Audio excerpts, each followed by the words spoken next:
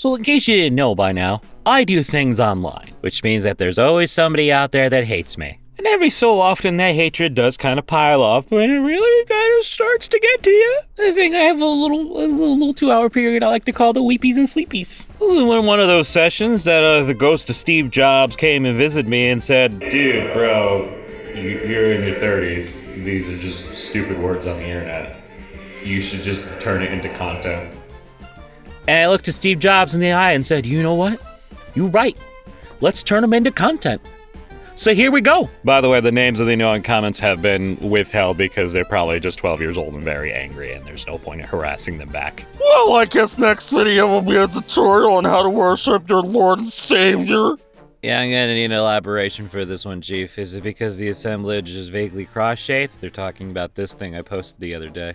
Not quite.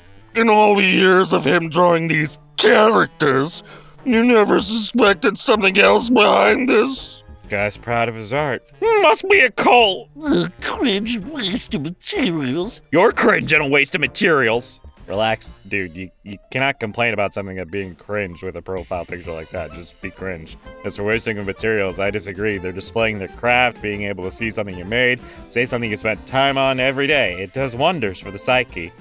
My profile picture's goofy, I agree, but at least I don't have anime girls on my wall.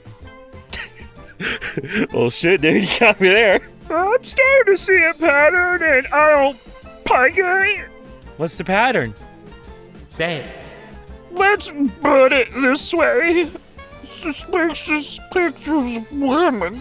Can't spell put right, but can get suspicious down to a T. Huh. You mean women with large breasts and or thighs? Lol. I mean, Sienna and Sana, the two characters I assume you're talking about, have been around for a while. The pattern you speak of is not new. Hope you like that voice I gave you, Lousy, you MVP. Yes, about the first part. I had just seen this picture, and I've never seen the Chanel before. Three, no offense. Just wanted to point out this is a joke. Funny how it always goes back to that, right?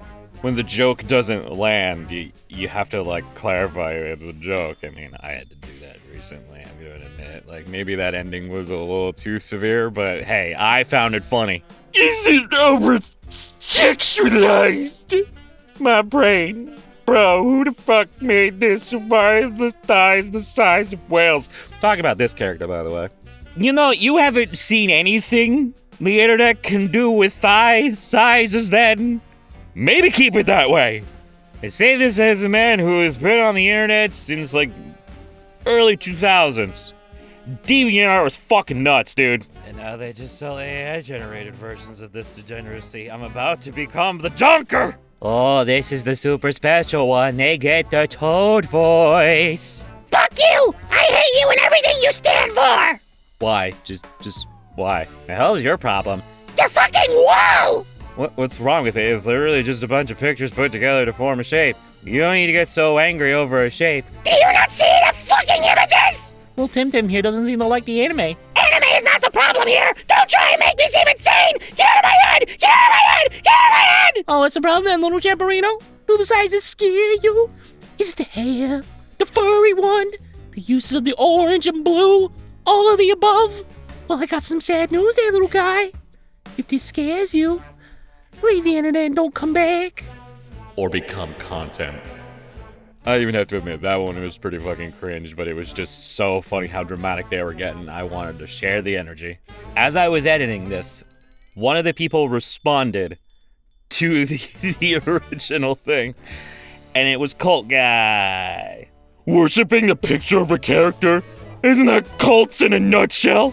I mean, if we really want to get technical about it, um, the actual definition of a cult is a religious group often living together whose beliefs are considered extreme or strange by many people. There's also this one that says a system of religious veneration and devotion directed toward a particular figure or object, and that's probably what they're assuming, which is fine, but like, no, it's not a cult thing.